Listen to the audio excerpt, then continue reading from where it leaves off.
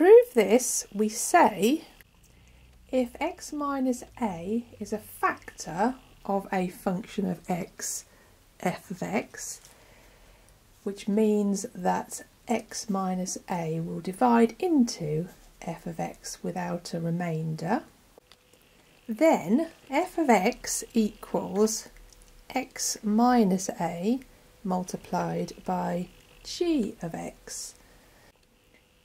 If we let x equal a, we get that f of a equals a minus a multiplied by g of a.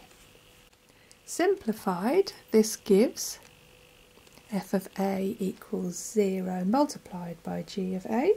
So f of a equals 0 as required.